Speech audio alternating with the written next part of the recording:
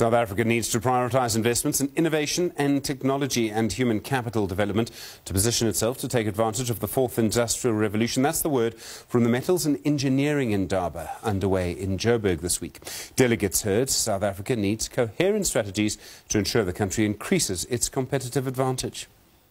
There are concerns that the fourth industrial revolution will lead to job losses, especially for the low-skilled workforce. But delegates heard that this belief is misinformed. It's believed the fourth industrial revolution will create more jobs, but they will require high-end skills. Dr. Thulani Dlamini of the CSIR says failure to prepare for the changing world will result in South Africa getting left behind and unable to compete at a global level. The one issue that we need to really take very seriously is the role of innovation in industrialization and industrial development. And that we invest um, in developing technologies locally.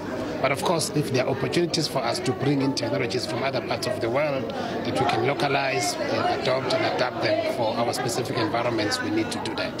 So that's one issue. Second issue is around human capital development. I think one can never uh, overemphasize the significance of human capital development. Government says it's putting in place initiatives to ensure schools produce the relevant skills needed by the economy. Given the rapid nature of uh, change within our economy, certain skills which some students are being trained for may actually be outdated when they complete their uh, uh, courses. And that's why we constantly work with, as the department, our universities and universities of technology to review uh, you know, their curriculum and to ensure that they're up to date in order to meet the needs and demands of the market. The Steel and Engineering Industries Federation of Southern Africa, SEIFSA, says there hasn't been much investment in new technology in the manufacturing sector. The reasons are the sector is struggling to be competitive on the back of high input costs and the tough market conditions. The sector has been struggling. There have not been the kinds of profits generated that would have made it profitable for companies to invest in, in, in, in technology.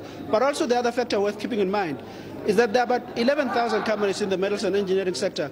The vast majority of them are small, employing no more than 50 people, single, single uh, family owning this or that company. So you have the, the big listed companies and multinational companies, but in this bigger scheme of things, they are a minority in the metals and engineering sector and in, in, in, in, uh, in manufacturing generally compared to the, bigger, the, the, the overall number of companies in the sector. Delegates hit that while South Africa may be a bit behind in terms of being prepared for the fourth industrial revolution, when compared to countries it wishes to compete with, the country should be taking steps to invest in innovation to drive industrialization and to position itself for the future. Gloria Sefako Mosi, SABC News, Johannesburg.